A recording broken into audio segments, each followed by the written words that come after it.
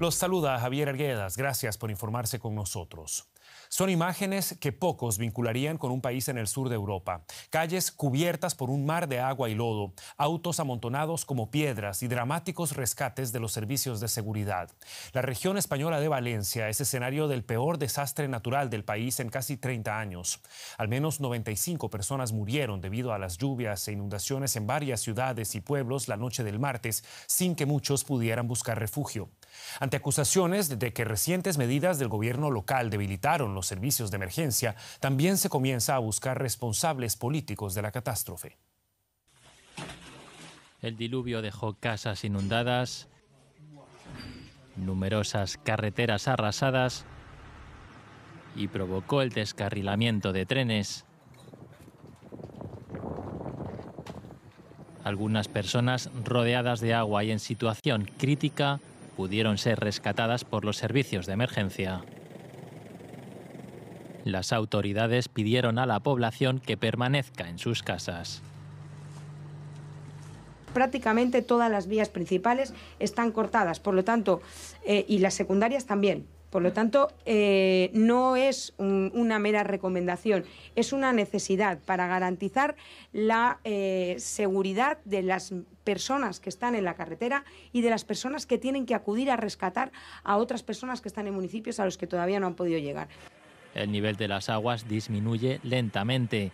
El presidente del gobierno español llamó a la población a seguir alerta. Me gustaría pedir a los ciudadanos y ciudadanas que no bajemos la guardia la Dana continúa causando estragos.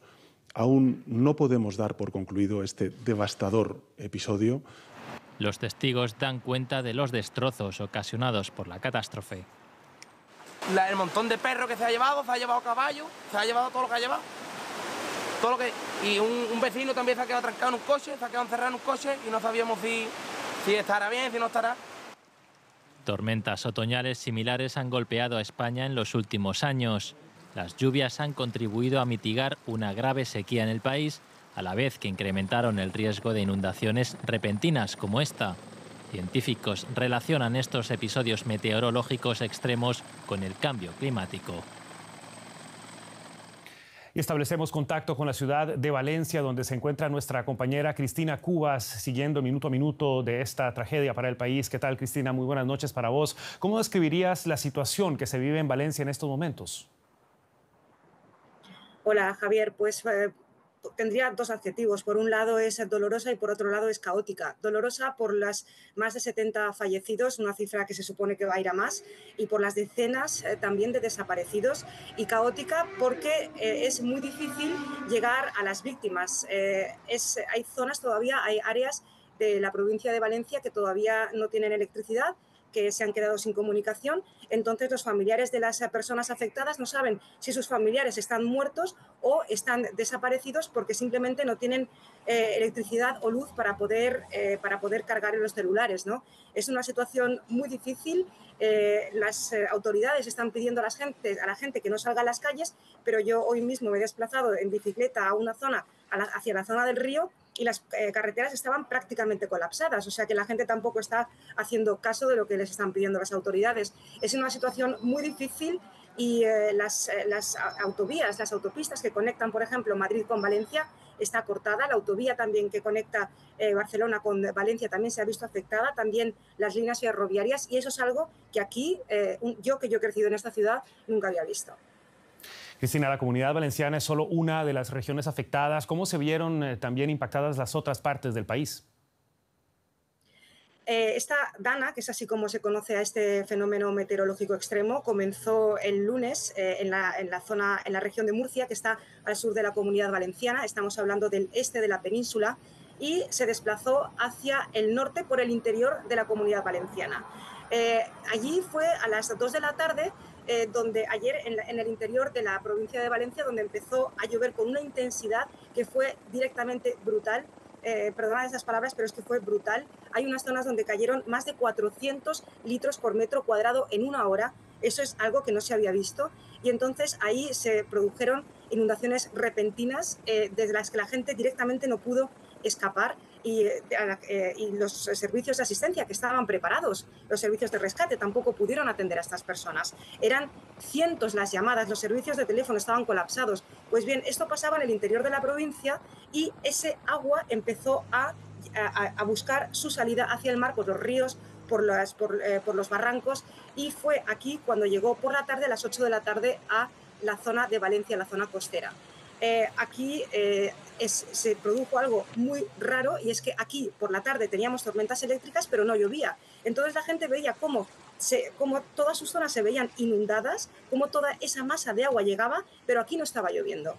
Bueno, y ahora eh, este, este, fenómeno meteorológico, la Dana se está desplazando hacia el noreste de la península, hacia la zona de Cataluña, y ahora sí que allí también se han levantado todas las alertas.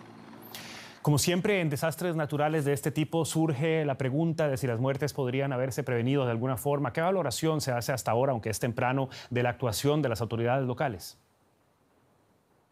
Eh, yo llevo aquí también desde la semana pasada y vienen advirtiéndonos de la llegada de esta dana desde eh, antes del fin de semana. Decían, la dana va a llegar el fin de semana. Em, y estábamos preparados. Eh, las autoridades dicen que estaban también los servicios de rescate preparados, eh, pero en principio tenía, debía llegar el sábado, el domingo llovió, pero llovió pues, un día de lluvia normal, el, el lunes fue un día resplandeciente con sol y fue cuando llegó el martes.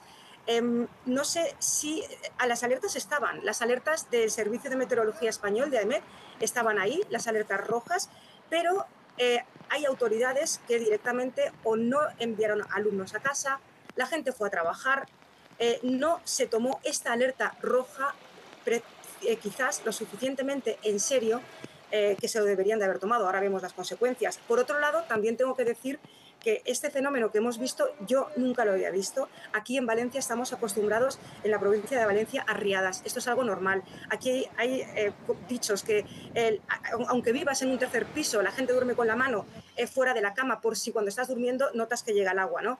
Es porque la, gente tiene miedo a las riadas. Lo que no habíamos visto es unas riadas de estas dimensiones que afecten a, una, a, unas, a toda la región puede afectar a una población, puede afectar a la población vecina, pero no a toda la región. Por eso, eh, ¿estaban las autoridades preparadas?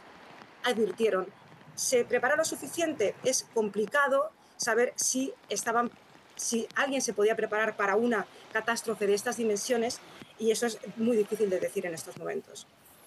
Cristina Cubas Blasco con el reporte de la dramática situación que se vive a esta hora en Valencia y en muchas otras partes de España. Seguiremos muy pendientes. Cristina, muchísimas gracias por el reporte. Hasta la próxima.